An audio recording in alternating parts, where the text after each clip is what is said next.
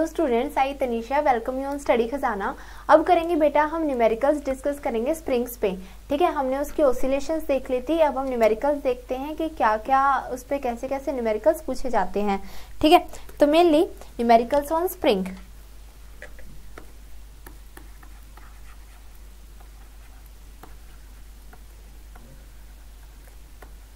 numericals on spring ठीक है spring पे न्यूमेरिकल्स अब देखो बेटा, इसके कैसे आपको पता है? तीन फॉर्मूलाज हैं।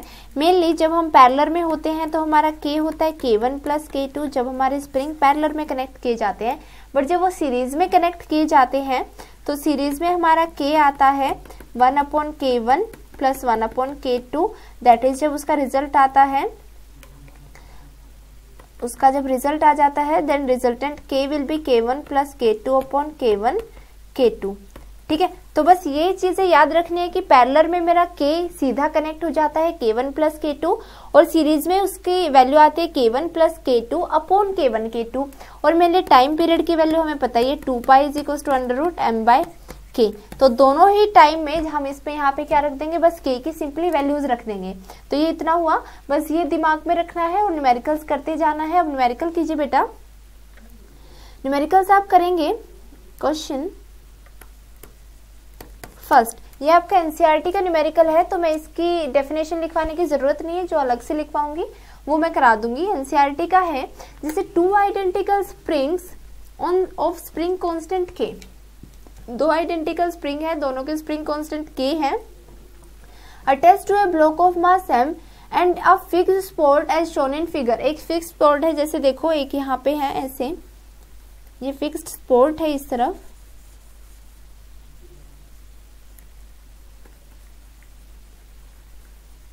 ठीक है ये। अब माँ से मेरा कोई एम यहाँ पे बीच में रखा गया है। ठीक है? इससे क्या है, मेरे दोनों ही तरफ़ स्प्रिंग कनेक्ट है। ऐसे? दोनों के स्प्रिंग कांस्टेंट है के ऐसे मेरा फिगर दिया गया है मुझे। ठीक है? अब क्या है बेटा? इसमें है show that when the mass is displaced from its equilibrium position on either side it executes a simple harmonic motion find the period of oscillation ये बहुत इंपॉर्टेंट क्वेश्चन है। वही ये एक्सप्रेशन की तरह पूछा गया है। इसमें क्या है कि ये अगर इसकी एक पोजिशन से खिसकाया गया है, किसी भी साइड ये तो मेरे सेम थे। अगर मानो मैंने टुवर्ड्स राइट इसे खिसकाया है तो ये कुछ ऐसा हो जाएगा ये वाला स्प्रिंग ज़्यादा मेरा कंप्रेस हो जाए एक्सपेंड हो जाएगा ऐसे। मास यहाँ पे आ गया एम और ये वाला स्प्रिंग स्ट्रेच हो जाएगा लाइक ऐसे। तो मेनली मेन पोजीशन से ये देखो कितना दूर गया बेटा, यहाँ से देखो। है ना? मेन पोजीशन यहाँ पे थी तो यहाँ पे जो मेरा फोर्स लगेगा, इसका फोर्स देखो, ये इसको दबा रहा है।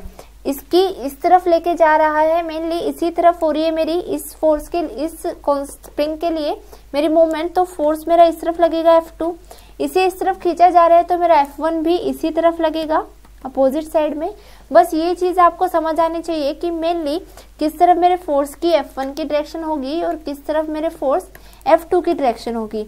तो F1 की डायरेक्शन भी इसी तरफ़, क्योंकि कंप्रेस किया जा रहा है तो अपोजिट डायरेक्शन में फोर्स लगेगा। इसमें मेरा इस तरफ़ खिसकाया जा रहा है तो इसका भी अपोजिट डायरेक्शन में दैट इज़ दोनों फोर्सेस की डायरेक्शन ये हुई। ठीक है? इतना समझ में आया। अब मान लो जो मेरा ये थोड़ा सी डिस्प्लेसमेंट हुई है ना, ये बेटा मेरी हुई है मानो एक्स की। ठीक है? एक्स यूनिट्स मेरा वो डिस्प्लेस हुआ है। तो कैसे करोगे कि मेनली मानो जो मेरा एफ़ वन है, वो क्या हो जाएगा? माइनस के एक्स और वो किस तरफ़ लगेगा? Towards the left hand side left hand side लगेगा। एफ़ टू भी क्या हो जाएगा? माइनस के एक्स तो वो भी लेफ़्ट हैंड साइड। ये दोनों केसेस आप समझ गए ना बेटा? हम मेरे टोटल फोर्स क्या हो जाएगा मेरा F one plus F two क्योंकि दोनों ही एक तरफ़ लग रहे हैं तो फोर्स दोनों add that is minus k x minus k x है ना? क्योंकि डिस्प्लेसमेंट तो उतनी हुई ना, जितना वो जितना वो अंदर डिस्प्लेस हुआ होगा। ये वाली चीज़ें, जितना ये फोर्स इस तरफ़ खिसका उतना ही ये इस तरफ़ आया। मेनली ये एक्स तो आप समझ गए ना, दोनों में क्यों लिया क्योंकि वो भी तो उस इक्वेशन से, जो हमारी इक्विलिब्रियम पोजीशन से एक्स तरफ़ गया मेरा एस टू और एक्स एक्स तरफ़ आया मेरा कौन सा एफ़ वन वाला? ठीक है तो दोनों ऐसे किया तो minus k common x plus x that is minus two k x तो मेनली यहाँ से आप देख सकते हो कि यहाँ से जो मेरी के की वैल्यू है, वो सिमिलरली बस माइनस टू के है।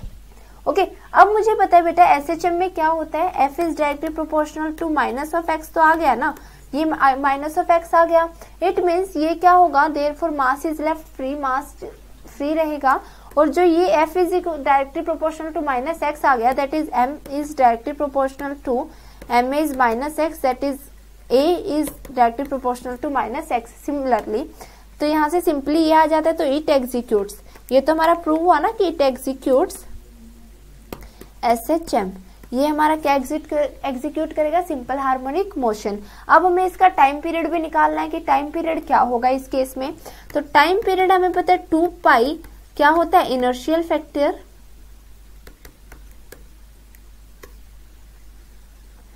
अपॉन क्या हो जाएगा? स्प्रिंग फैक्टर स्प्रिंग फैक्टर तो यहाँ पे हो गया टू के इनर्शियल फैक्टर क्या हो जाएगा? Mass of the block mainly जो इनर्शियल फैक्टर है, क्योंकि उसी की मूवमेंट हम देख रहे हैं ना तो इनर्शियल फैक्टर यहाँ पे होगा mass of the block that is M तो mainly T will be come out two pi under root M by two K क्योंकि यहाँ पे इसकी वैल्यू क्या है? टू तो सिंपली बहुत ही ज़्यादा सिंपल था सिंपल एक्सप्रेशन की तरह अगर एक्सप्रेशन समझ आ गए तो ये भी बहुत अच्छे से समझ में आ जाएँगे। ठीक है? अब जैसे नेक्स्ट न्यूमेरिकल है बेटा, ये थोड़ा एक्स्ट्रा का न्यूमेरिकल है। तो मैं इसे लिखवा देती हूँ। Question the vertical motion of a huge piston in a machine is approximately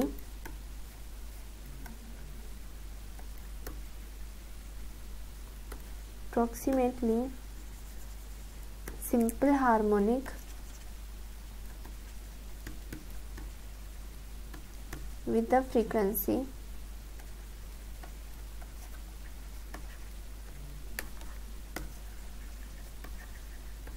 With the frequency of 0.50 second inverse a block of 10 kg is placed on the piston. What is the maximum amplitude of the pistons? SHM for the block and piston to remain together. Okay okay, तो mainly question आपका क्या दिया गया बेटा? The vertical motion of a huge piston in a machine एक आपकी क्या है? एक बड़ी सी मशीन है उसका एक पिस्टन है उसकी वर्टिकल मोशन हो रही है? ऐसे अप्रोक्सीमेटली सिंपल हार्मोनिक उसकी जो मोशन हो रही है वो सिंपल हार्मोनिक की तरह हो रही है, जिसकी फ्रीक्वेंसी दी गई है point five zero second inverse और मास दिया गया है टेन के जी तो आप लिखेंगे मास वी कितना दिया गया है बेटा? सॉल्यूशन आप करेंगे। वी गिवन है point five zero second inverse और मास कितना गिवन है टेन के जी अब ऊपर देखो। Is placed on the piston. What is the maximum amplitude of the piston? Is simple harmonic motion for the block piston is to remain together. Mainly हमें maximum पूछा गया है एम्पलीट्यूड कि कितना हमारा होना चाहिए कि हमारा जो पिस्टन है वो साथ में ही रहे, उसके मतलब वो मोशन एग्जीक्यूट करता रहे। अब मुझे पता है म्यू क्या होता है बेटा? यहाँ से होता है मैं के की वैल्यू निकालू two pi under root K by M होता है। तो यहाँ से K is equals to four pi square V square M तो के की वैल्यू क्या आ गई? ये अब मुझे पता है फॉर मैक्सिमम अगर डिस्प्लेसमेंट होनी चाहिए तो उसके लिए वो इक्वल टू एम्पलीट्यूड होनी चाहिए, है ना? तो mainly for maximum displacement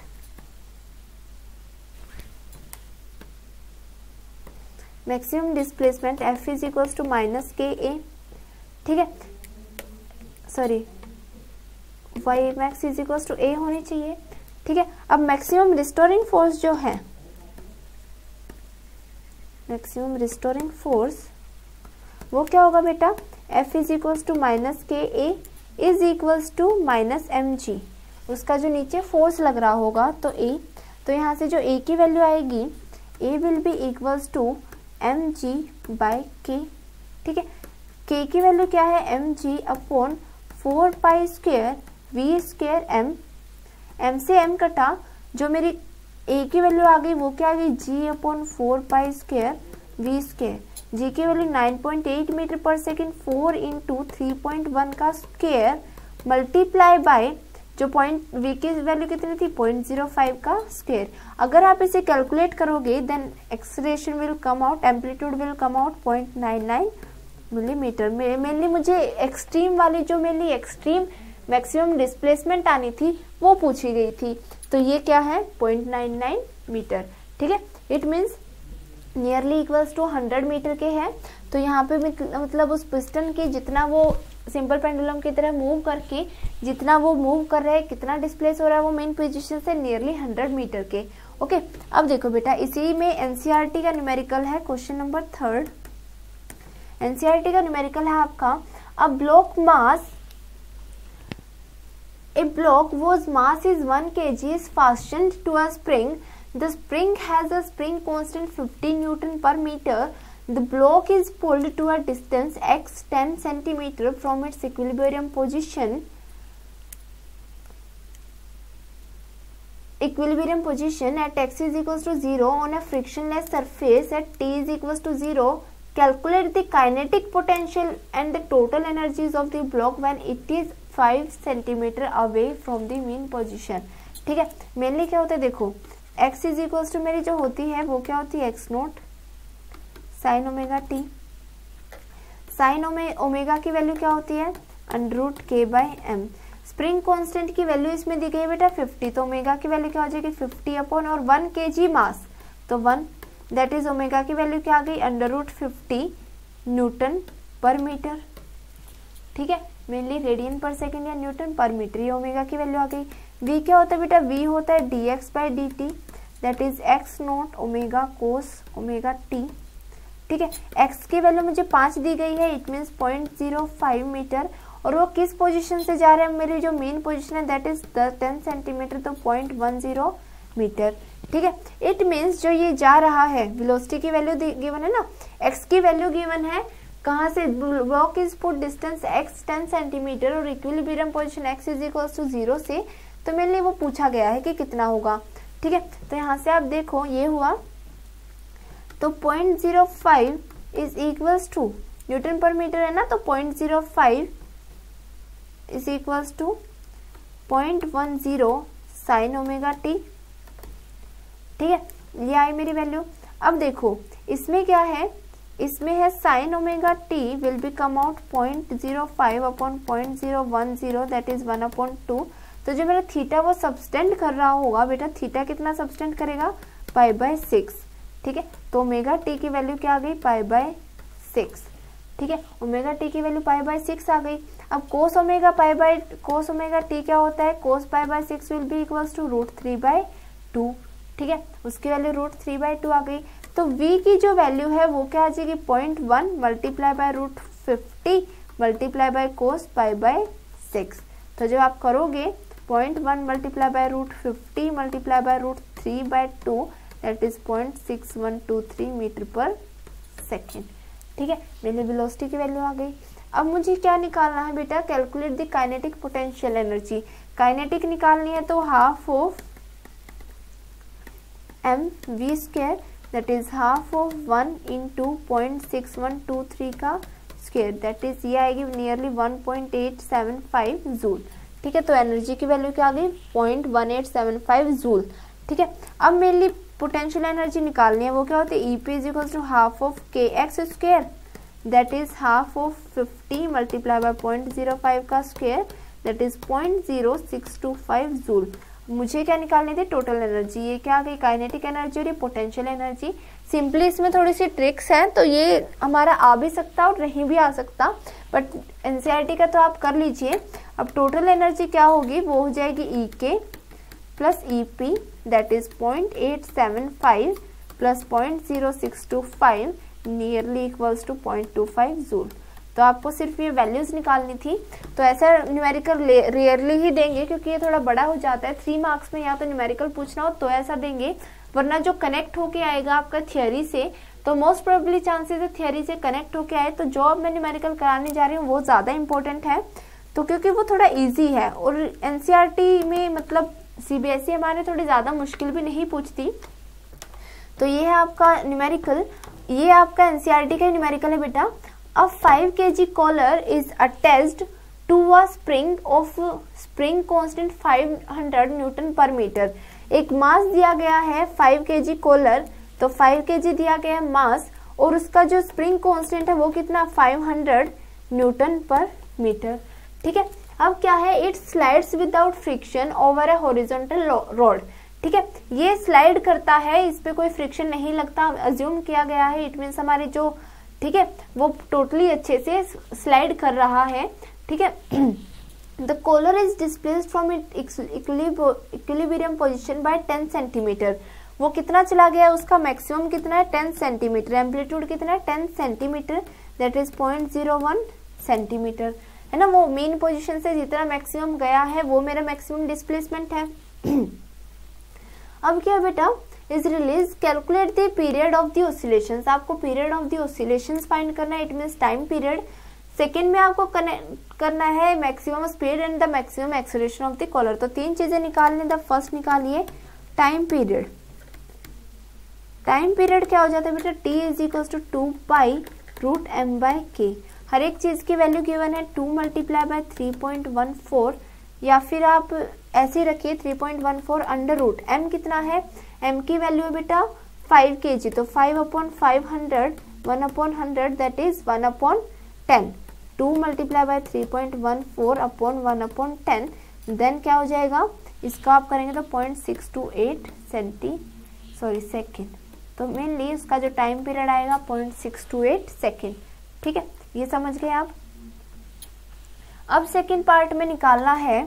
second part में निकालना है बेटा the period of the oscillation आपको क्या निकालना? पीरियड ऑफ़ द ऑसिलेशन तो period sorry period of the oscillation तो हो गया है। मेनली बी में निकालना मैक्सिमम स्पीड मैक्सिमम स्पीड क्या होगी? ओमेगा पहले तो मैं निकालू, क्या होगी? Two pi by T two pi multiply by T क्या है? Point six two eight that is three one four तो pi upon three point one four upon three one four ये क्या आ गया पॉइंट में? तो it will be equals to ten meter ten second inverse तो ओमेगा की value क्या आ गई? टेन सेकेंड इनवर्स अब मुझे क्या निकालना? मुझे निकालना है मैक्सिमम विलोसिटी क्या निकालना है? मैक्सिमम विलोसिटी मैक्सिमम विलोसिटी निकालनी है तो v क्या होता है? ओमेगा ए है ना? मैक्सिमम विलोसिटी ए ओमेगा होती है ना तो मेरे डिस्प्लेसमेंट ज़ीरो हो जाती है. तो ए ओमेगा ओमेगा की वैल्यू टेन और ए की वैल्यू दी गई है, कितना हमारा वो डिस्प्लेस होता है? टेन सेंटीमीटर तो ten multiply by ten that is ten centimeter होता है वो। ओमेगा की वैल्यू टेन सेकेंड इनवर्स और उसकी value ten centimeter that is point one zero अब यहाँ से क्या आ जाएगा? वन मीटर पर सेकेंड तो मैंने जो वेलोसिटी की वैल्यू है, वो क्या आ गई? वन मीटर पर सेकेंड ठीक है? अब है बेटा, मुझे निकालना है सी पार्ट में। इसमें निकालना है maximum acceleration of the collar maximum acceleration of the collar ये क्या है बेटा? मैक्सिमम एक्सलेशन क्या होगा? Omega square Y omega square A अगर एक्सलेशन निकालना है तो ओमेगा स्क्वेयर ए तो ओमेगा की वैल्यू क्या है? टेन का स्क्वेयर और ए की वैल्यू क्या ही है? वन ठीक है? तो मेनली और ए की वैल्यू क्या है? पॉइंट वन तो ये क्या आ जाएगा? Hundred multiply by point one that is ten metre per second square ठीक है? तो ये वाला न्यूमेरिकल आपने देखा, बहुत ही सिंपल न्यूमेरिकल था। सिंपली वैल्यूज़ पूछी गई थी आपको वैल्यूज़ पुट करनी है और निकालते जाना है, ठीक है? तो ये आपके एनसीईआरटी के न्यूमेरिकल्स यहाँ खत्म होते हैं और उसी के साथ आपका ये ओसिलेशन चैप्टर की थियोरी प्लस न्यूमेरिकल सारे कवर हो जाते हैं। इसे ही रिवाइज करते रहिए, अलग से रेफरेंस बुक लेने की भी ज़रूरत नहीं है। जितने नोट्स हैं वो सफिशियंट है और इसे ज़्यादा से ज़्यादा रिवाइज कीजिए। इस चैप्टर में से बहुत अच्छी नॉलेज आती है और जो हमारे ट्वेल्थ में बहुत यूज़ होता है। इलेवेंथ में तो है ही है ट्वेल्थ में भी बहुत पूछा जाएगा। तो उसी हिसाब से प्रिपेयर कीजिए। नेक्स्ट वीडियोज़ में हम अपने नए चैप्टर को शुरू करेंगे। इसमें इतना ही। थैंक यू सो मच जय हिंद